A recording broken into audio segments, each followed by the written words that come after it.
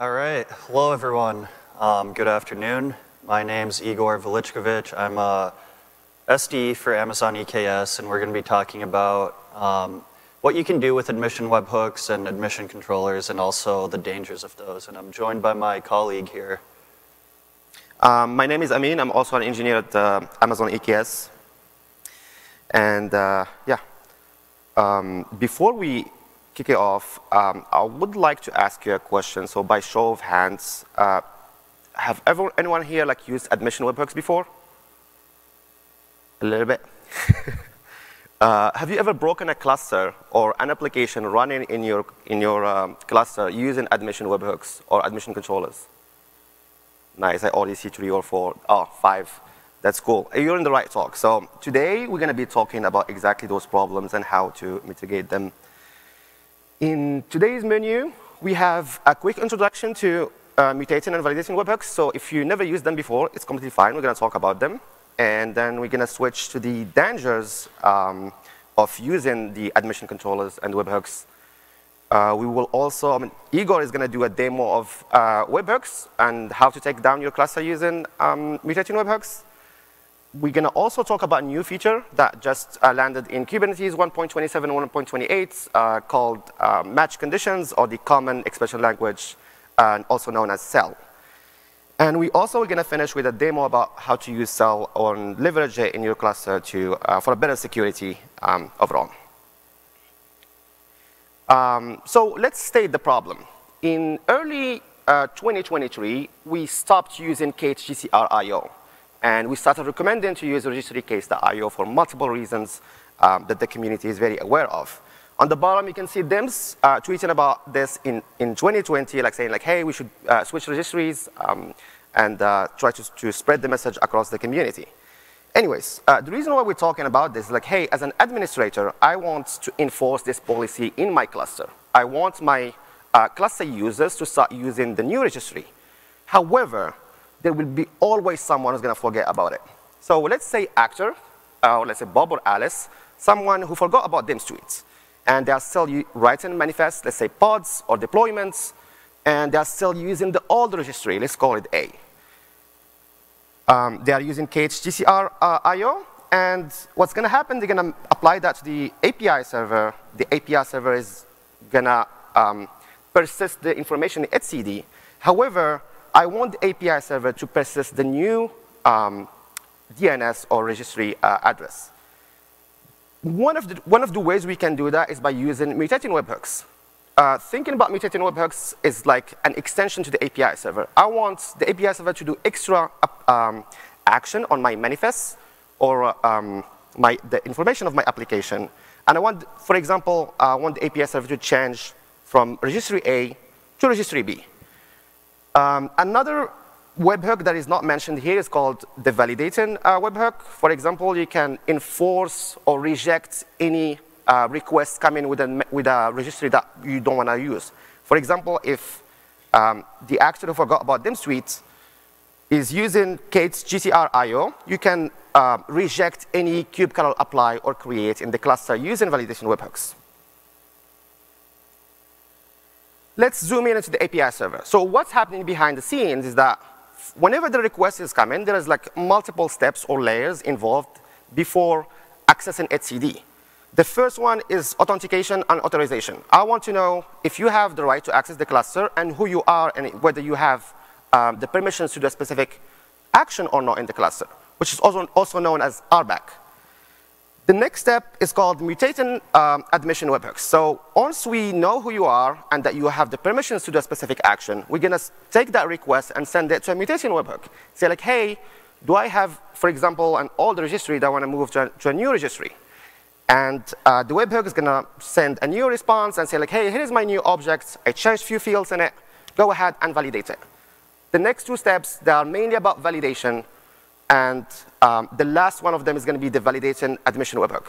So we want the API server to validate whether um, my request is valid or not. If all those four steps um, are executed successfully, the object is going to be persistent in, in etcd. Um, here we have two examples. On the left, you're going to see the validation webhook configuration. And we're going to have, uh, for example, on line four, you're going to see the name of the uh, validation webhook uh, configuration. You're going to see the rules on line seven. I want only to target the operations that are like creating pods and the API version v1. I also like I'm giving information about um, the, the webhook endpoints. For example, in line 13, I'm like, hey, go call the webhook in the name um, uh, example service and namespace example namespace. On the right, we have a very similar example, but this one for mutating um, webhook configuration is not very complete, but you can see it's very similar, and it allows you to target specific operations and a specific workload in your cluster. So as we can see, there's a lot you can do with admission webhooks. Um, that was just one example. However, there's a lot of dangers that come with them. And the reason for that is when you use an admission webhook, all the operations that that webhook targets um, are now your API server has a dependency on your admission controller. And that risk can be increased by failing closed, having too broad of scope, or too long of a timeout. So I'm going to talk about those three cases and what you should do and should not do. So failure policy determines whether you're going to fail closed or fail open. It basically says if there's any issues communicating to your webhook from the API server, uh, how it should behave. If it fails open, it'll let the request through. If it fails closed, it'll deny the request. Um, the default is fail. So um, what you should do is think through and consciously select a failure policy and understand the risks and implications of that failure policy. Um, there are valid use cases for failing closed, right? Say for security reasons, I only want certain containers to run on my cluster. Maybe I would rather have operations break than run an unsecure container. Um, but don't just go with the default value and not think about it. Um, too long of timeout. So the timeout seconds field defines the timeout when calling your webhook. If a timeout occurs, um, your failure policy will be invoked. The default timeout is 10 seconds, and you can use anything between 1 and 30. So do try to use a short timeout, as short as is reasonable, because um, your webhook's going to be adding latency to the API server. Validating webhooks will all go in parallel, so that helps, but mutating webhooks are executed one after another. So if you have five and they all have a timeout of five seconds, you can add 25 seconds of latency to your requests. Um, and that can be really detrimental to clusters, especially at large scale. Um, I've seen clusters with thousands of pods where GC isn't, garbage collection isn't able to clean up the pods for hours. And that's because there were several webhooks with 10 second timeouts taking 10 seconds. So every time API servers trying to do GC and clean up pods because they're supposed to be scaled down, um, it, it's taking hours. It can't, it can't keep up because of that latency. So one thing you definitely should not do is if you start seeing like some timeouts, try to just use a really long timeout. Um, you should try to like root cause why your admission controller is taking so long. Um, and don't just try to extend the timeout to get around it. And then too broad of scope. All of these risks are only, only impact um, what you target with your rules. So here's an example of too broad of scope, right? We have all wildcards. This is going to target all mutating operations on the cluster. This, these rules are the blast radius of your webhook. So do set the scope as tight as possible and do it in the validation webhook layer. Suppose I want to only target config maps, for example. I should not use wildcards and then in my application logic of the admission controller say, okay, if it's not a config map, just let it through, otherwise do the validation. Make sure all of this is in the webhook layer. So now we're going to do a demo, and we'll do a live demo because that's a bit more fun, of breaking a cluster using webhooks. So I just have a local kind cluster um, running here, have some components in kube system, and um, I'm just going to create a deployment. And this deployment has a service, very, very simple, straight from, you know, the basic Kubernetes example of a deployment. And it has three replicas. And we can go and look at our endpoints to make sure the service is working properly. Everything's good. So now what I'm going to do is I'm going to create a webhook. And I'm going to simulate a failure and do some bad things. I'm going to target everything. Um, I'm not going to set the failure policy, so it's going to be fail. And there is no example service at example namespace. So I'm simulating a failure, um, as if the admission controller was down. So I'm going to apply this.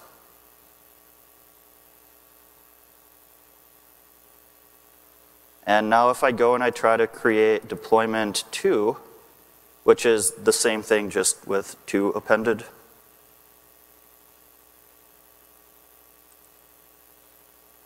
Oops, I did not apply the blocking webhook first.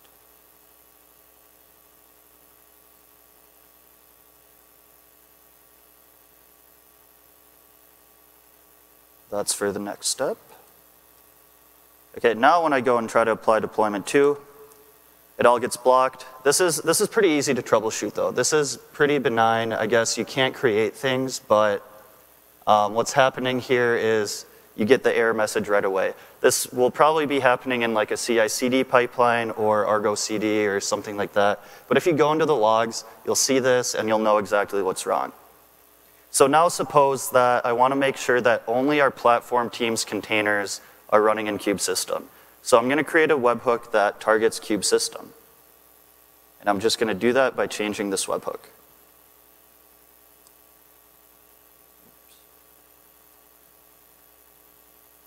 Okay, so now that I created that webhook, um, now it's only targeting kube system, and now my deployment should go through.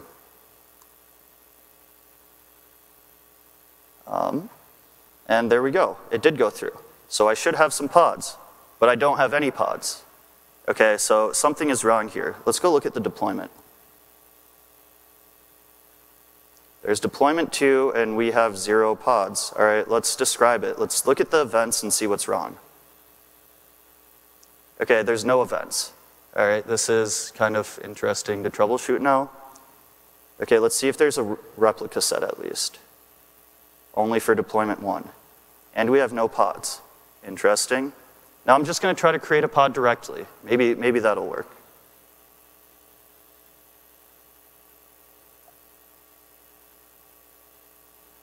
Okay, the pod went through, but it's not scheduling anywhere. The pod is stuck in pending. Okay, so I can't even launch pods. Maybe I just need a new node. Let's describe the pod and see what it's unhappy about.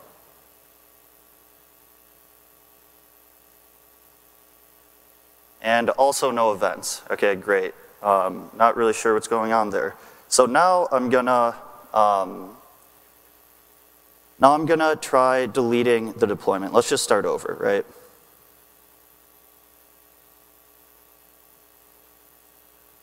All right, we cleared out the deployment.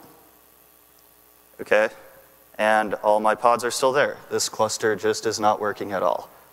Um, maybe I try to manually de delete a pod. Let's see if that works. Okay, at least that worked. So hopefully now that should be taken out of service so it's not still serving traffic now that it's no longer there.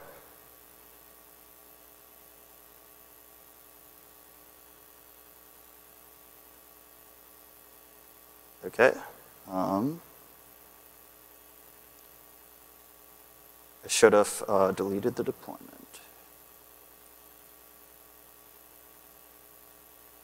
All right. Um, yeah, so I can't create pods, I can't create deployments. This, this cluster is just hosed. Um, and let's look at why.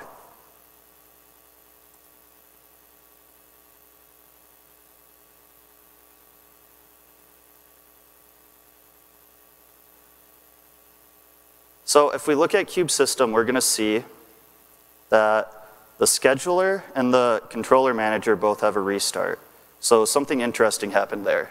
So let's go and uh, peek into them and see what happened. I'm going to look at the previous logs to see why it crashed and restarted. Um, okay, so leader election lost and shutting down. So it looks like it lost its leader election. And now let's look at the current pod to see what's happening.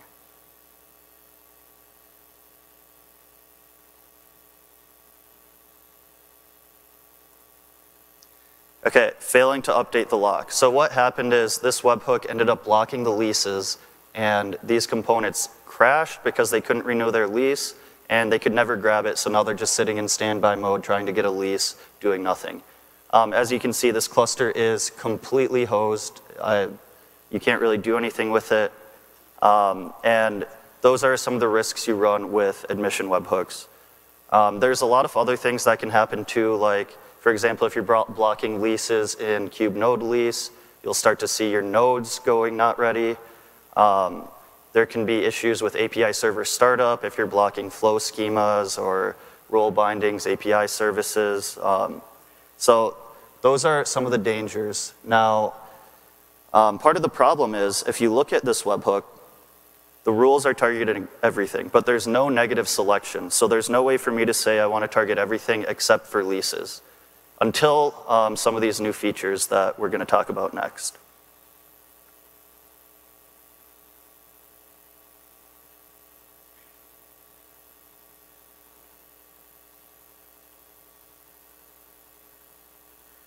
Thank you, Igor. so now that we've seen examples on how to break your cluster or your application overall using mutating webhooks, we're going to jump ships and talk about a completely different topic. Uh, there is what we call CEL, or Common Expression Language. Um, it's, an, it's a language, it's a new language created in the early 2020s by Google. However, it's not a programming language. It is a scripting language. Um, is it quite as fast? I was very impressed about how fast and very like close to the, to the performance of just pure Go. Uh, it is very, very easy to write and to understand. Um, it's a little bit like Python or JavaScript overall. It is also easy to, easy to extend and to embed. Let's say like you want to bring some functions to this uh, language or to embed it in JavaScript or Java, it is, it is pretty easy to do. Uh, if I'm not mistaken, there is only one implementation. It is in Go. Um, but there is um, not different implementation. But correct me after if I'm wrong. i have never seen any. Um, if you want to play with this language, there is what we call the CEL Playground. Uh, it's a website created, created by Mateusz. I don't know if he's here or not, but um, shout out to that. Very cool tool. And uh, yeah, without any more talk, we're going to show you how it looks like. Uh, let's say I want to validate these YAML objects. Uh, I want to say, let's say I have this event. Um, name KubeCon, location Chicago, and I have a list of, of attendees, um, whether they have a coffee or will have a funny hat. Um, it's a boolean true or false. What I can do using CEL is write an, an, expression like this. For example, in line one, I can say like, hey, I want to validate that the event.name is KubeCon, and that the event location is Chicago. And then I can target, for example, the first element of my attendees list and say like, hey, do they have a, do they have a coffee? And do they have a funny hat? It is pretty simple. It looks like Python or JavaScript, basically, but it's not a programming language. It is only an expression language. It means that you can only validate data with it. And this is where it comes, um, becomes very fun, because we can use this kind of stuff in, in, um, in webhooks. If you want to learn more about CEL, because we're going to stop here and start talking about webhooks again, um, please watch Joe Betz's talk uh, last year or the year before about webhook fatigue, introducing CEL into um, the, the, the expression language features. And yeah, I really recommend that. Yeah, so um, now we're going to talk about how we can use CEL and some new features that are coming out in Kubernetes that we worked on with the community to help make uh, admission webhooks more usable and safer. So there's validating admission policies that are a new beta API as of 128, and these are CEL-based policies. So um, rather than API server needing to call out to a webhook, um, it can just use CEL to do validations itself. Um, and they're beta in 129, and we have mutating admission policies planned for the future. Um, match conditions are a new beta feature as of 128, and they allow for flexible selection of um, your rules and the scope of your webhook. You can now with CEL define what your webhooks should and should not be targeting.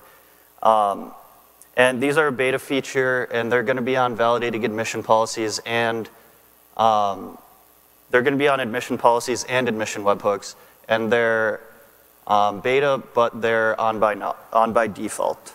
So you can start using those right now as of 128. Um, here's an example of a validating admission policy. It has a lot of similar fields. It looks a lot like a validating admission webhook. That's by design. Um, one of the things that you're going to see is different, though, is the validations instead of telling it a service to call out to, right? And there I have a simple CEL expression that says, for deployments, um, I want all my replicas to be less than or equal to five. And then you use a policy binding to apply that to, in this example, a certain namespace and tell it to do a deny on failure. Um, this allows your API server to not take an external dependency, and it's an in-process alternative, right? So the benefits here are less latency, like we said, CEL is really fast, and it doesn't have to make an external network call. Um, there's no external dependency. There's a lot less overhead in setting this up as well. Um, if you were to make a validating, validating admission webhook, you would need to write some code, containerize that code, deploy a pod. The code would have to do TLS, HTTP request handling, a bunch of serialization and deserialization, just to do the simple um, replicas less than or equal to five, right? Um, and the other thing is you get immediate feedback. If you do use a validating admission policy and you do something that breaks your cluster, it'll break it immediately and consistently. Whereas if you have a validated admission webhook, it may, it may be running good for a year and you might be fine, and then all of a sudden there's a bug in your controller and everything's down. Um, match conditions are the other example we talked about. So this is where you can use fine-grained conditions with CEL to define the scope. Um, these are only for negative selection, and you can have a list of them, and they're, it's an AND operation. So if one is false, then your webhook will not be called and invoked. So now we're going to go back to our broken cluster and fix it with the new CEL features.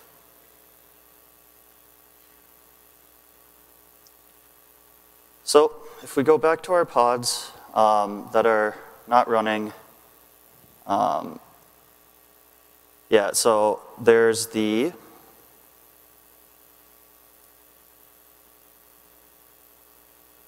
um, there's the deployment that should be gone, the pod that's not scheduled, and the deployment that is not um, available, right? So we're going to go back to our webhook and we're going to take the same webhook and just apply this match condition. And this match condition is going to say if it's coordination k8s.io and the resource is leases, we're going to ignore it with this not. So now if we apply this, our cluster should be back to a good state.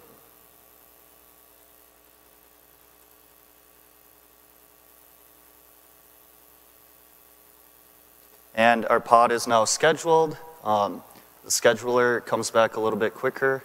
And we should see a cleanup of our deployment and our new deployment coming in. Um, and you can see that everything's working. The endpoints on this deployment have, have their IPs now. The old ones are gone. We're, we're in a good state. Um, okay, so that's great. We were able to protect against, we were able to make one webhook safe, right? Now I'm going to transition, do a quick demo of validated, validating admission policies, and then I'm going to wrap it all together. So here's a very simple validating admission policy. Um, very similar to our, our, example, but we're going to say it has to have greater than five replicas. Um, and we're going to start by just showing the way um, deny works. So if we go and we apply this,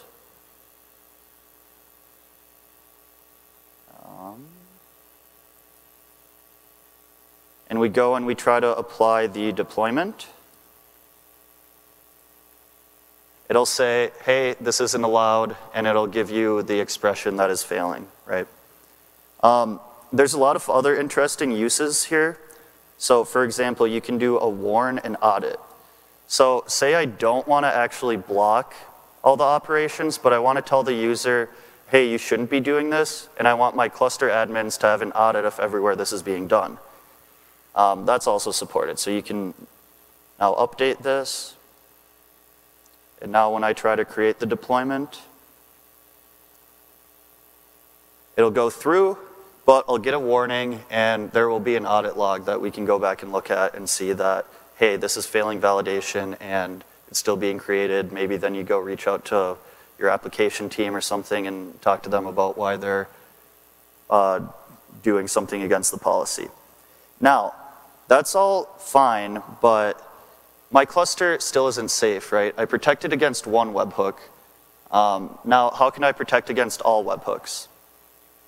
Well, we can do that with validating admission policies. So here I have um, a more useful validating admission policy maybe, and it's going to target admission registration, and it's going to look at validating webhook configurations, and mutating webhook configurations. Um, and another feature is you can have this special message, right? So with this message, um, this, this is, I'll walk you through this expl- expression, but this is a lot. If you got a warning with that giant expression, it may not be clear to users on your cluster. So you can have a special message and you can maybe link that to some documentation that explains why and what. Um, and then we're going to have this CEL expression. And this one's a bit more complicated, so I'll walk us through it. Um, first, we're going to say object.webhooks.all. So that's an iteration um, operation in CEL. And as you can see, the webhook configuration, you can define multiple webhooks. So we want to make sure for all of those webhooks that all of them are safe. So what this is going to do is it's going to say for all webhooks, um, and then this is the iterator. Like if you say like for item in items or for x in items, I'm calling it webhook because that makes sense. But um, for all webhooks, every single item in that list, it has to have match conditions. And then for those match conditions, we want to loop through those as well and make sure that there's at least one. Um, so for all webhooks, we want one match condition that has this expression to block leases. Um, and then we're going to run a deny there. So if I go and apply that,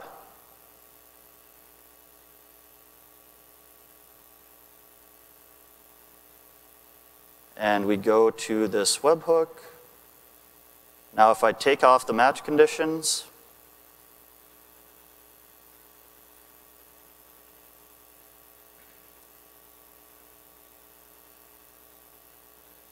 I get a denial and I get a useful message. Um, and then if I add these match conditions back on, it goes through.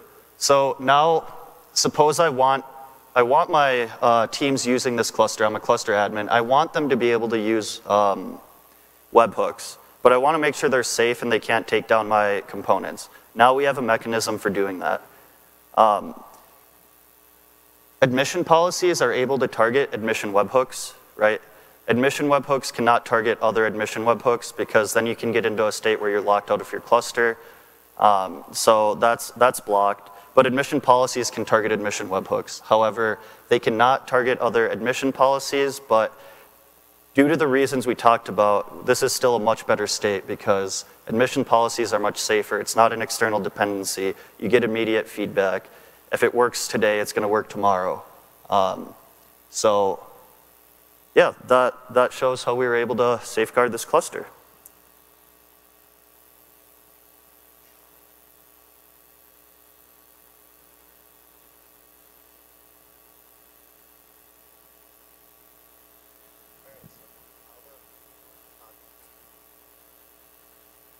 Thank you, Igor. Uh, that's pretty cool to see live. The, the demo gods are happy today, so can't really complain. Um, so now that Igor showed you how to use match conditions, uh, if you remark, like uh, observed at some point he's using request something, um, like, hey, what are the objects you can use? Because on the runtime of the API server, you have few fields that you can access, not always requests. This is from the Kubernetes documentation, and what a better place than Kubernetes documentation to read about a few things. And here you have, um, for example, objects, old objects. If you make an update operation, you always have access to the new and the old one.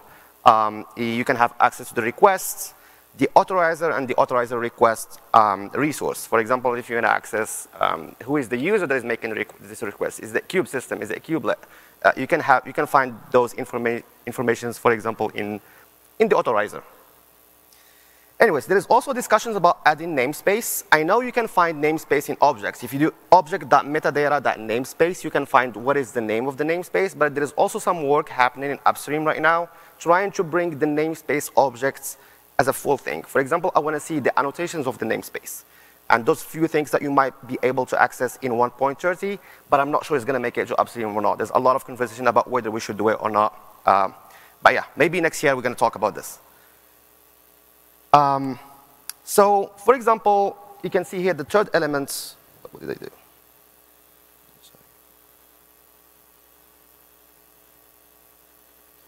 the third element here was a request. Um, if you want to know what is, what is really inside the request, this is called straight from uh, Kubernetes upstream, admission v1 types.go. You can see all the fields you can access in the request. Um, Igor was using, I think, user and um, the, the, the name of the object, no, the kind, sorry. It was like the kind um, to, to, for example, to target the leases. But those are all the objects you can access from the admission request. Yeah, so uh, in conclusion, admission webhooks are super powerful. We've had them for a long time, but they also come with a set of dangers. Um, but now we have new CEL features that make it easier to apply policies onto your cluster in a safer way. And please, if you haven't, uh, go out, try these features. Um, you'll need to enable the beta APIs for validating admission policy, but you can use the match conditions today on 128 plus clusters um, on admission webhooks. And please go try them out and provide feedback. Are there new features you want, access to different fields, any issues you run into? Uh, provide feedback so we can make it a better experience and get these new features to GA. Uh, thank you.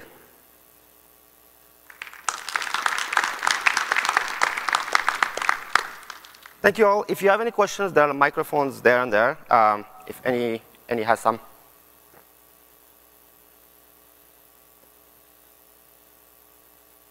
Going once. So if I do break my cluster, because I have webhooks that don't let me do anything, how do I unbreak it?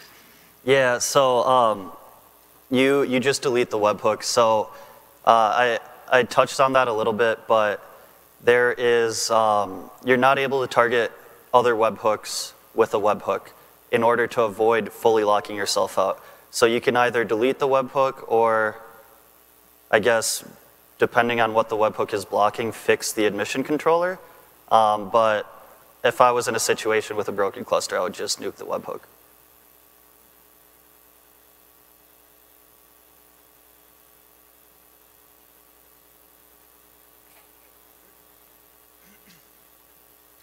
Any potential performance problems? Yeah, so we've built in um, some monitoring um, so you can tell how long these expressions are taking to evaluate. Um, there, are, there is a potential because as you saw, we could do loops. So you could like loop and loop and loop and loop and cause issues that way. Um, there is a cutoff in how much processing time an entire webhook is allowed to use and each match condition and how much compile time it's allowed to do. So it actually compiles when it's created and then there's compilation and evaluation with CEL. So there's, there's limits on all of those. And if you hit the limit, then the failure policy will be invoked, um, similar to like if you can't talk to an admission controller. I can add to that. Um, we've done some benchmarks regarding Kyverno, CEL, Rego, and pure Go code. And we'd be like fascinated of how CEL is very close to Go performance. It's, it's very, very fast. It's so far from Kyverno and Rego. So if you're worried about the performance of CEL itself on like dealing with very, very uh, uh, huge objects, it's not, it's not going to be really a problem. It's really as close as to, to pure Go code or compiled Go binaries.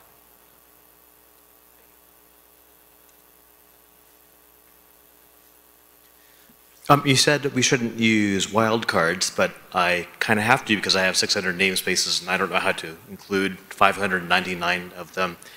And there's no negative. Yes. I can't say star minus kube system. Right. So, th so this is the tool that would allow us to do that? Yes, exactly. Okay. Yeah, so you could use the match conditions and say if namespace is not kube system, then you're good Okay. uh, bypass the webhook. Thank you. Yeah. You can basically access any field in your object. So namespace, annotations, uh, conditions as well. If you want to really target only, I don't know, pods with specific conditions and like specific uh, messages in those conditions, it is possible to do.